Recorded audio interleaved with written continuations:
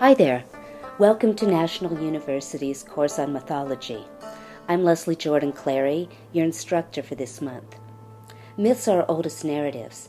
They stretch back to humankind's earliest days. They try to make sense of who we are and of the world we live in. They try to explain our origins or what happens after we die. They meant to entertain, to instruct, and to give answers to the unexplainable. Myths blend history with imagination. They tell the stories of a culture. This month, as we venture into world mythology, we're stepping into a land of symbols and archetypes. We'll be looking back through time, but we'll also look at how myths are still relevant today. Our world has changed, but human nature is very much the same. We all battle monsters, go on quests, have triumphs and failures. You'll see common threads that bind us as we move from country to country.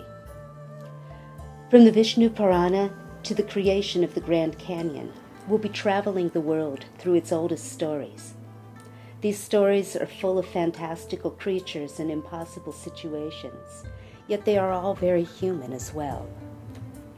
So as you read these stories this month, have fun, explore, look for the narrative myth that threads through your own life.